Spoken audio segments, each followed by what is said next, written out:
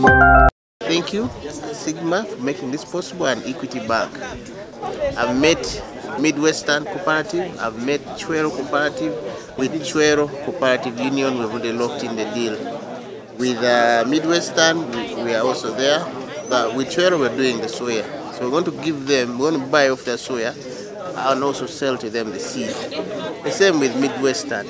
Then Alito is also going to help us uh, help us keep on uh, where we fall short in seed supply because look, the numbers are too great with the cooperatives.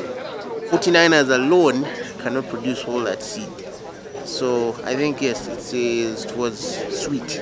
It's a very sweet deal. Thanks.